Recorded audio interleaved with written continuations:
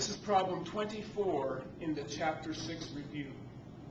This is an addition of fractions. Now remember, as in the good old days when fractions were much simpler, to add and subtract fractions is when we have to have the same denominator. So the first thing we have to do is we have to factor these denominators so that we can determine what the common denominator should be for this problem. Factor those two trinomials and then construct our common denominator. A minus and a plus here means we have two minuses in the binomials. And 3 times 5 would give us the 15 we have here, and minus 5x minus 3x more is minus 8x under the O and the I of FOIL. Now, I would hope that one of these two binomials was also a factor here. Wouldn't have to be, but I would hope that it was so that it makes my common denominator a little less complicated. And I can see that a 3 could be used with the 6. A minus 3 times a plus 2 could make the minus 6. And plus 2x minus 3x would make minus 1x under the O and the I of FOIL.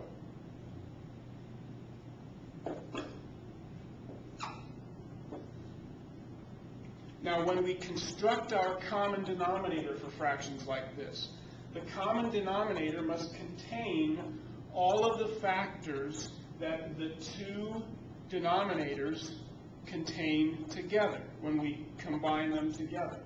So x minus 3, x minus 5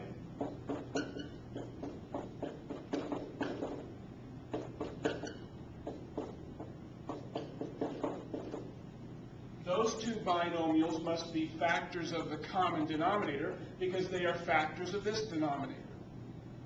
x minus 3 I've already accounted for. It only occurred one time in each denominator, so it only has to occur once in the least common denominator. x plus 2 is a factor in this denominator, so it must be included as a factor in the common denominator.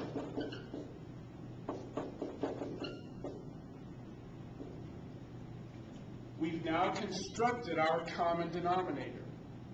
Now we have to build these fractions up. This fraction is missing the factor of x plus 2 when I compare the denominator to the common denominator. So I must include x plus 2 as a factor here. And I have to multiply the numerator and denominator by that quantity so that I'm actually multiplying just by 1. Multiplying a fraction by 1 doesn't change the fraction's value. It's going to change the fraction's appearance, but not value. So this becomes x plus 2 multiplied times x minus 3. Now don't cancel the x plus 2's, as is sometimes what I see students do. That would simply get you back to the original fraction, which wouldn't help you in terms of adding the fractions. Now, what factor is missing here compared to the common denominator's factors? It's the factor of x minus 5.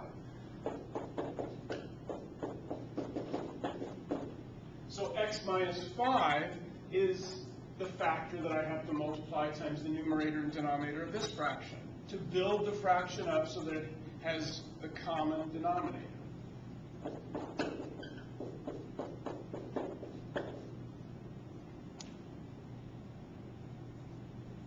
Again, don't cancel the x minus 5s or you'll be right back to what you started with, which won't help you in terms of solving the problem, in terms of adding those fractions. Now we have to perform the multiplications before we can perform the addition of the fractions.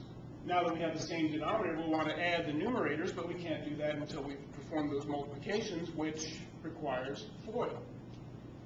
Multiplying those binomials with FOIL is going to give me x squared minus 3x plus 2x is minus 1x.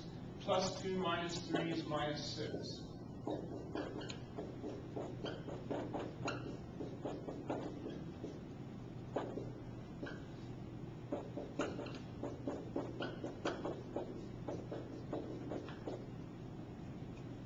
multiplying these two binomials with FOIL. x times x is x squared. Minus 5x plus 2x is minus 3x. When I do the O and the I of FOIL, plus 2 times minus 5 is minus 10. Now we can add those two numerators and put the answer over the common denominator.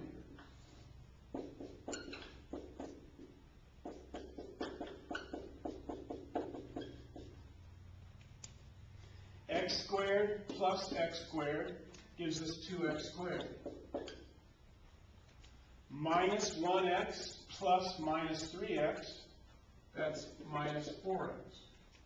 Minus 6 plus minus 10 is minus 16. Now we would need to see if there's any simplification we can do, any reducing we can do once we have our answer. And that's going to require us to factor this trinomial if possible.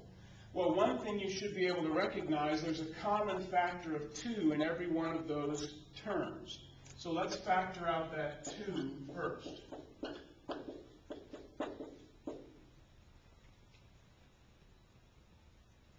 And then we'll see if there's any factoring we can do of this trinomial that's resulted from factoring out the common factor of 2.